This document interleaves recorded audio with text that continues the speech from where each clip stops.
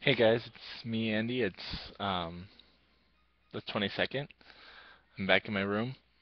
Um, spent all day getting stuff, costumes ready for a leave this weekend, which hopefully I'm I'm really thinking that this is gonna work.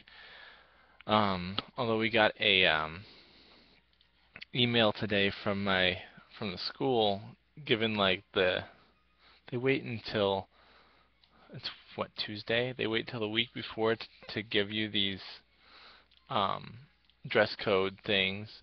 I mean, okay, outfit within normal dress guidelines with primary attention to modesty.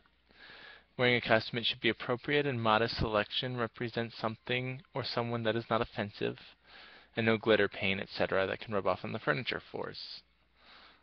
Um, I think my costume should be okay. I'm not really hmm, I think it should be fine.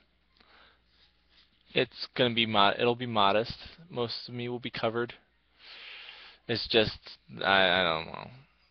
I have a lot of work to do on it still, so but it's gonna be a legit cosplay if I can finish it. Might even you know broadcast or keep it use it as another con. Oh, I'm tired. It's only 11. Oh, it's 11 o'clock. I need to go to bed. All right. Well, this is Andy. Thanks for watching. Leave a like, leave a comment, all that fun stuff. I'll see you later.